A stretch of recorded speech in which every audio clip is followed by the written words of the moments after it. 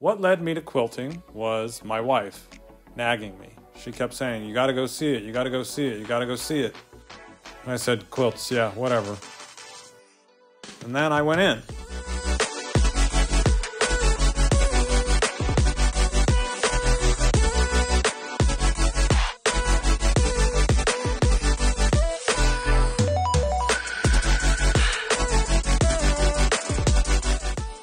What is juxtapassion, and where did that word come from?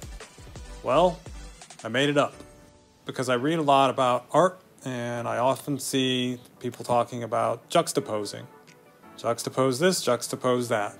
Juxtaposing is a little bit limiting in that you're placing things side by side for a contrasting effect, where what I strive to do is place things side by side to sort of garner an emotional response or an emotional effect.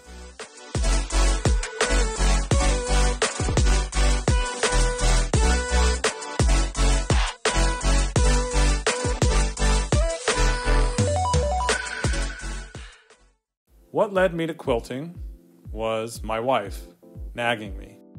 From 1992 to 1997, she kept saying, You gotta go see it, you gotta go see it, you gotta go see it. And I said, Quilts, yeah, whatever.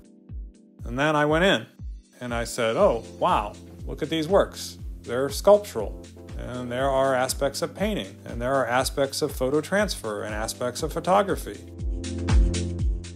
And I looked at them and I said, Okay, how would I make one of these?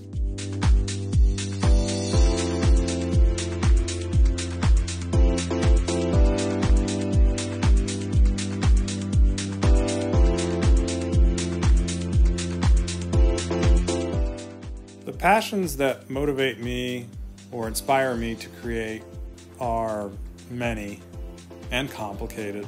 I mean, one of the allure is I, I do have a sort of gambler's personality where I think of an idea and I think, oh, that's going to be really tricky to pull off. And I like the challenge of, you know, will it work or won't it? Where it would be safer to not try at all, sort of toil through life and do things in a, you know, more logical way as opposed to a more emotional approach to it.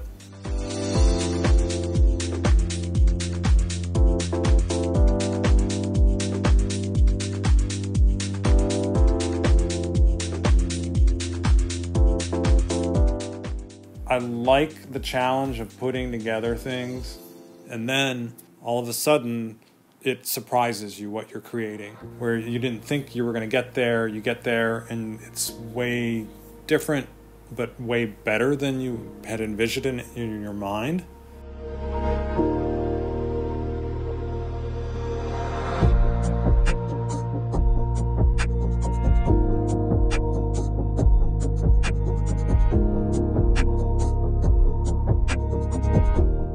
Another passion that motivates me is that art for me is a way to express a complex idea.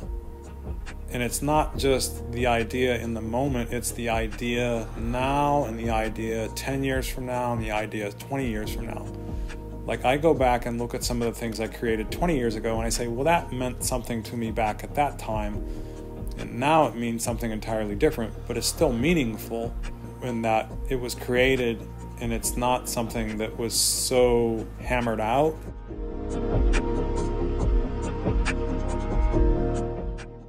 Hope that people viewing my art can take away something personal to them.